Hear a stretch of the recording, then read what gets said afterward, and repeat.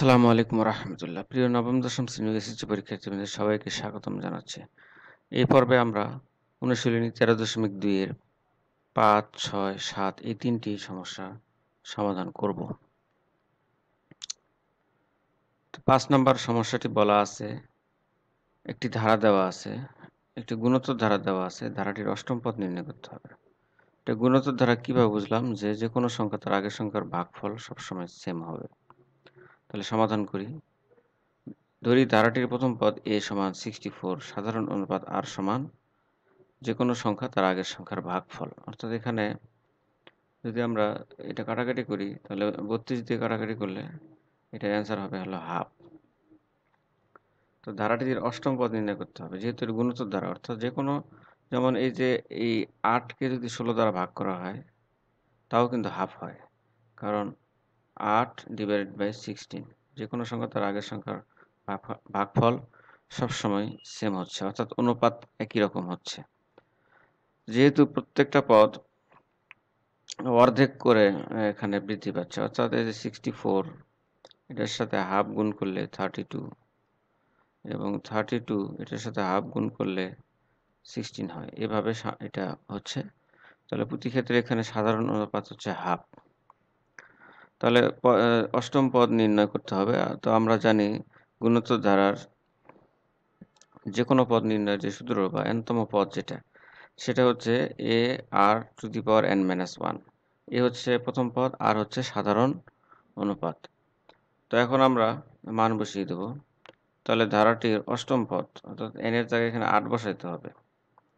অর্থাৎ এর মান এখানে সিক্সটি ফোর আর এর মান হচ্ছে হাফ তাহলে এই যে আর এর পাওয়ার কিন্তু এখানে এন মাইনাস ওয়ান অর্থাৎ এখানে এই এন এর জায়গায় এখানে আট বসবে। তাহলে এটা জাস্ট ক্যালকুলেশন করতে হবে সিক্সটি ফোর ইন্টু এখানে দেখো এই যে এইটা half to the power seven হয়। এটার মানে হচ্ছে ওয়ানের পাওয়ার সেভেন এবং টুর পাওয়ার সেভেন এভাবে যদি আমরা সূচকের নিয়মে ভেঙে লিখি, তাহলে ওয়ানের পাওয়ার সেভেন মানে কি? ওয়ানই হয়। আর টুর পাওয়ার সেভেন মানে টু দি পাওয়ার মানে এটা one by one hundred and twenty eight তাহলে জাস্ট এটা এখন কাটাকাটি করতে হবে। তাহলে এখানে যদি সিক্সটি ফোর দিয়ে ভাগ দিই তাহলে কাটাকাটি করলে এটার অ্যান্সার হাফ আসে। অর্থাৎ ওয়ান বাই টু আসে। তো এটাই হচ্ছে অ্যান্সার তো আশা করি তোমরা বুঝতে পেরেছ। তো এরপরে আমরা ছয় নম্বর সমস্যাটি সমাধান করব। তো ছয় নম্বর সমস্যাটি এখানে ধারাটির প্রথম চোদ্দটি পদের সমস্যা নির্ণয় করতে বলছে। একটা গুণোত্তর ধারা দেওয়া আছে। তো গুণোত্তর ধারা নির্ণয়ের ক্ষেত্রে আমাদের লক্ষ্য রাখতে হবে, এ এবং আর। অর্থাৎ এ হচ্ছে প্রথম পদ আর হচ্ছে সাধারণ অন্তর। তাহলে এটা সমাধান করার জন্য আমরা ধরি ধারাটির প্রথম পদ এ সমান হচ্ছে আর এবং সাধারণ অনুপাত আর হচ্ছে যে কোনো সংখ্যা ভাগ তার আগের সংখ্যা। অর্থাৎ এখানে কাটাকাটি করলে এখানে তিন আসে। এই তিনটা সমষ্টি নির্ণয়ের যে সূত্রটা, সেটা সূত্রটা এখানে নির্ভর করে আর এর মানের উপরে। আর এর মান যদি একের চেয়ে ছোট হয়, অর্থাৎ এই আর এর মান সাধারণ অনুপাত একের চেয়ে ছোট হলে একরকম সূত্র হবে এবং একের চেয়ে যদি বড় হয় তাহলে আরেক রকম সূত্র হবে। তাহলে তিন কিন্তু একের চেয়ে এখানে বড়।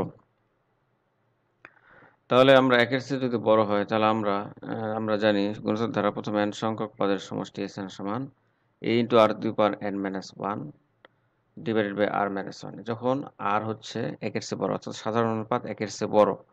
যদি একের চেয়ে বড় না হতো বা ছোট হতো, তখন কিন্তু আমরা লিখতাম যে তখন এস এন এর সূত্রটা এরকম হতো one one minus one minus r to the power n divided by one minus r এটা হতো। যখন এটা এখানে আর একের চেয়ে ছোট তাহলে এখন মান বসিয়ে দিতে হবে। অর্থাৎ প্রথম এন সংখ্যক পদের প্রথম এখানে এন হবে, এখানে প্রথম সংখ্যক হচ্ছে এখানে এন সংখ্যক। তাহলে প্রথম প্রথম এন সংখ্যক পদের সমষ্টি সমান এস এন সমান a into r to the power n minus one divided by তাহলে এখানে মান বসাই দিলাম।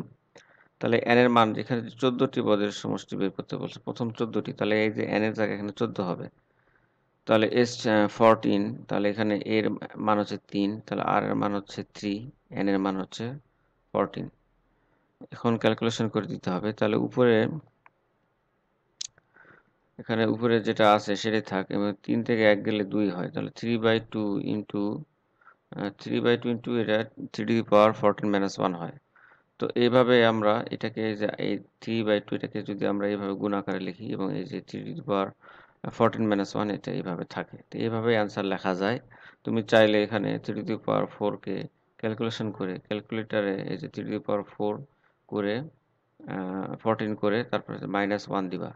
ওয়ান দিয়ে যেটা হবে, যে ফলটা হবে, সেই ফলের সাথে এই যে তিন গুণ দিবা। তিন গুণ দিয়ে সেই ফলটাকে আবার দুই দিয়ে ভাগ দিলে যা হবে, সেটা হবে অ্যান্সার অথবা এইভাবেই উত্তর লেখা যায়।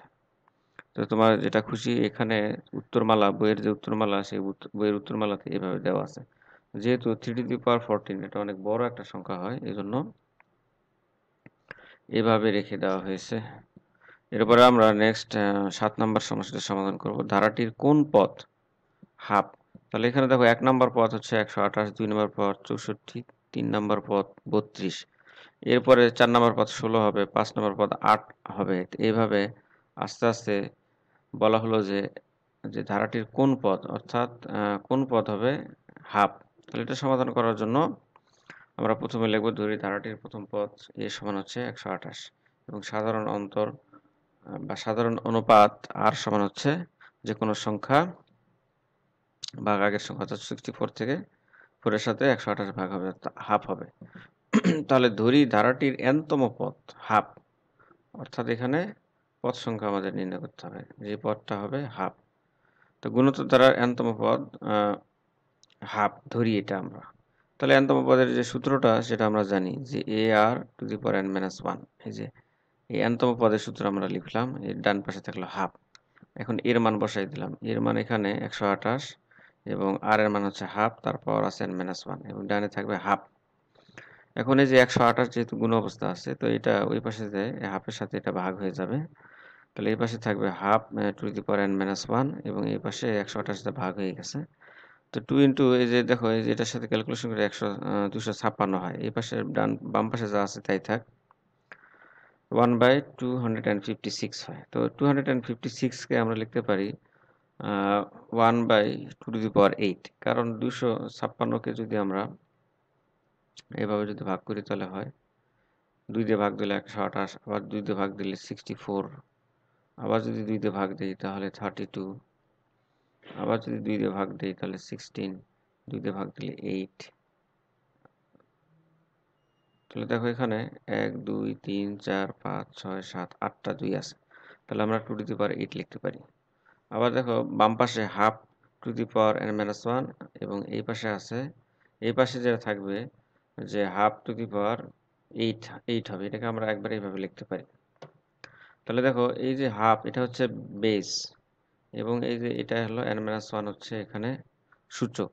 সূচকের যে সূত্রটা, সেই সূত্রটা এখানে কাজে লাগবে। অর্থাৎ a to the power x equal to a to the power y হলে, অর্থাৎ ভিত্তি যদি সেম হয়, তাহলে আমরা পাওয়ার দুটা সমান লিখতে পারব। তাহলে এই কাজটাই করব এখানে। অর্থাৎ n minus one is equal to eight হবে, যেহেতু ভিত্তি এখানে সেম তাহলে এই যে মাইনাস ওয়ানটা ডানে চলে যাবে। মাইনাস ওয়ান ডানে চলে গেলে এখানে প্লাস হয়ে যাবে। তাহলে এন এর মান এখানে পাওয়া যাবে হচ্ছে নয়। তাহলে এই ধারাটির নয় নাম্বার পদটাই হবে হাফ। এটা ম্যানুয়ালি এখানে এভাবে করতে পারবা কারণ এটাকে যদি আমরা থার্টি টুকে যদি হাফ দিয়ে গুণ দিই, তাহলে সিক্সটি হয়, যেটা হচ্ছে পাঁচ নাম্বার পদ। আবার সিক্সটিনকে যদি আবার হাফ দিয়ে গুণ দিই, তাহলে হবে আট।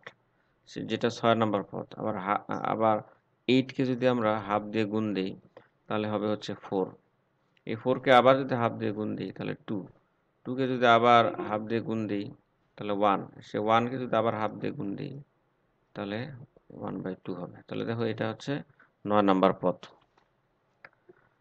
তো আশা করি তোমরা বুঝতে পেরেছ।